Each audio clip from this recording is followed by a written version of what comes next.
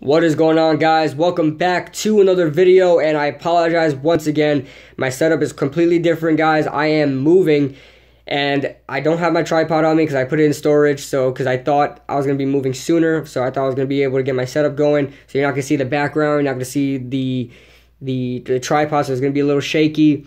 The mic the mic quality is going to be as good because I don't have you know my mic either. I'm not going to edit nothing. It's going to be completely raw, no background music, completely raw. So all that being said, please bear with me, guys. Next week, it should be back to normal, okay, guys? In my new house, it should be back to normal, I promise you. But bear with me for right now. We're going to discuss why we should not fire Coach Pat Shurmur. And I'm going to get into this right now. Here's the thing if we fire Pat Shurmur, and this is the thing with Giants fans, because I laugh, I laugh because not in mockery of Giants fans, not at all, but just the fact that we're so spoiled as Giants fans. We already are so accustomed to a winning culture that if we don't get a 10 and 6, at least a 9 and 7 record or 10 and 6 record within a year of us doing bad, we're like pissed. You know, we're rebuilding right now. We thought we are going to have a way better record because of our team on paper, and we're just pissed because we're so used to to the winning culture. And what do you need with a winning culture? What what are signs of a winning franchise? Signs of a winning franchise is having how many head coaches? I, you guys have to put in. The, I, I forgot how many head coaches that the Giants went through, but it's not a lot. Uh, I'll put the. I mean, I I can't remember the correct number. It's in the teens, I believe, right? But the Giants haven't had many head coaches. Why is that? Because we're always winning and, and, things like that. Even even when times are tough, we still stick with our guys. We still stick with our players. We still stick to our coaching staff.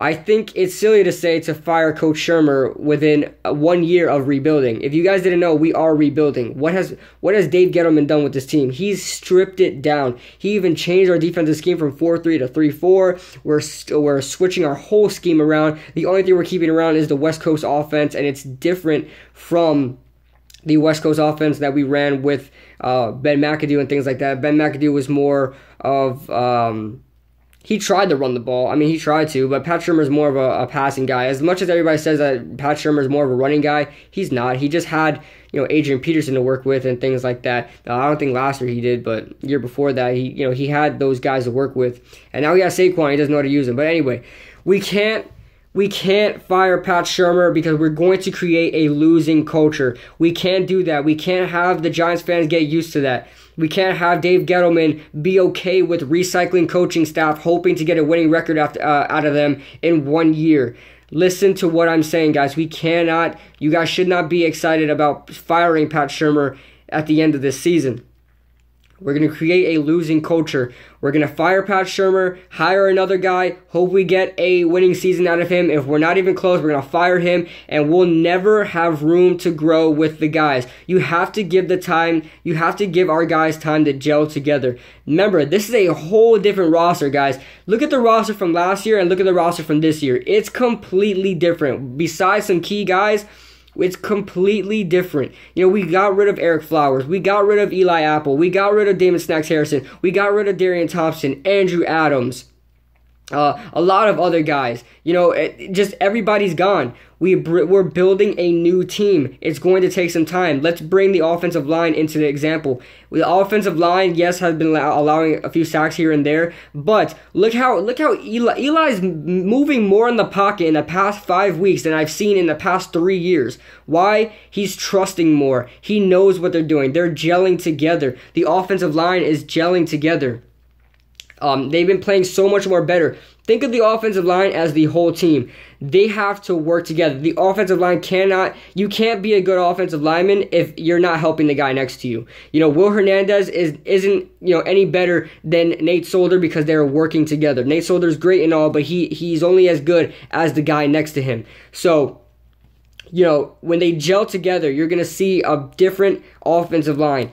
Think of that as the whole entire New York Giants team. When they gel together, you're going to see a whole different team. The secondary is going to play in sync. The linebackers are going to play in sync. The defensive line is going to play in sync. Yes, we don't have very good. We don't have a lot of sacks. Why? Our defensive line is completely different. Dalvin Toms, Tomlinson is a second year man. BJ Hill's a rookie. Kareem Martin it got signed this year. You know, our whole defensive line is different. Olivier Vernon is playing like crap, so he's never on, you know, he's, he's not doing anything anyway. But we have to gel together, guys, and you're seeing that slowly but surely. We're scoring points, we're putting up numbers, we're winning games. We have to gel together, and that starts with Coach Pat Shurmur. He is the mastermind, believe it or not, he is the mastermind in this whole entire organization right now as far as you know the whole personnel goes as far as everything everything goes. He's the head coach. If you break down the head coach you're going to separate everybody in the locker room. As far as i know the teammates love pat shurmur they defend him. They do whatever they have. They don't talk bad about him um, you know, Odell, you know, Odell, you know, with all his frustration, still goes to Pat Shurmur. You guys see him on the sidelines, still goes to Pat Shurmur to calm down. So they like Pat Shurmur. He is a coach. He is a good locker room guy. Yes, that is not the best quality to be having a co- in, in, a head coach. It's not the best quality. You know, Bill Belichick is not in the locker room, you know, popping champagne with his guys, right? You know, he's in his office saying, you know, just do your job but they respect him for it. Pat Shurmur's a different guy. He's gonna win these guys with with, respect, and he's he, he he bonds with these guys, and that's one step closer to building a winning franchise. Just let these guys trust Pat Shurmur, let them gel together, and they will play better. I guarantee you.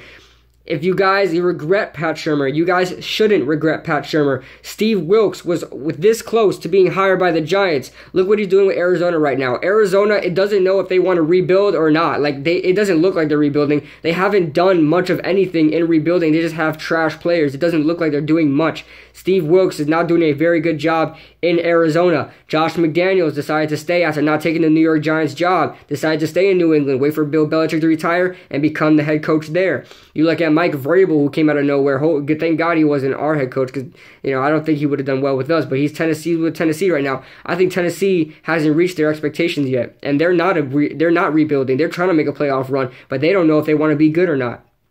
You look at Matt Patricia, another guy that was considered for the New York Giants uh, job that was this close to being hired, except when he was hired to the Detroit Lions.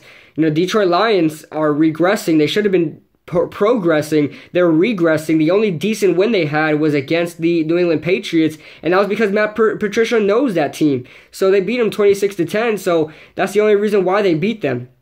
So you look at all these other guys; they're struggling too and they're in a worse spot than we are. I think the Giants can really get something going next year. I'm seeing a lot of potential. We just need to clean up some key mistakes that everybody, it's obvious. Everybody knows we need to run the ball. Everybody knows we need to protect Eli uh, better. Everybody knows we need to um, keep keep defense going. Like we need to keep playing on defense. Our defense needs needs to not get a gas out, so we need to win the time of possession on offense. It's key mistakes that everybody knows. You know, key things. You know rebuilding mistakes. We'll fix that. They they will fix that, guys. So just keep that in mind, guys. I just want you to keep that in mind. Pat Shurmur firing Pat Shurmur is not the answer. It's not because we're gonna bring another, another guy in. We're gonna expect him to to to build a winning franchise, and it's not gonna happen, guys. I think Pat Shurmur can take us to the promised land eventually, guys. I think he can. I, I I respect everybody else's opinion, and I hope you respect mine. But I don't. I'm not gonna give up on Pat Shurmur yet. That's like saying Davis Webb. We're just throwing throwing away Davis Webb and hiring Kyle Lauletta, and we're about to what? We're about to get rid of Kyle Lauletta again and get another quarterback and Justin Herbert. What if he doesn't do well? You know, we we can't have a quarterback carousel. We can't have a head coach carousel. So with all that being said, let me know what you guys think in the comment section below. How do you what do you guys think about the rest of the season? Do you guys think we should fire Pat Shurmur? Do you guys think we should keep going with him? And for how long? I think I'll give him another two years. I'll give him another two years. If if in two years, two more seasons, so after this season, two more seasons, so until 20 at the end of the 2020 season, if Pat Shurmur has not at least taken to this this team to a playoff run or a winning record in two years, I'd say it is time to let him go. I, I always want to give a coach three years to do what they have to do. Yes, rebuilding may take longer, but you could get a fluke season. I'd, I'd rather take a fluke season than just going 6 and 10 for a couple years and then building. I'd take a fluke season just to see what we can do and then start winning. So, all that being said, guys, Pat Shurmur cannot be fired. It will be a huge mistake, and it will definitely lead us on the decline farther than we're on the decline that we are right now. We're rising very slowly. The train's moving very slowly, but it's moving. So, if you guys like the video, hit that like button. Subscribe if you're new. Remember to ring that notification bell so you never miss a video. And I'll see you guys in the next video.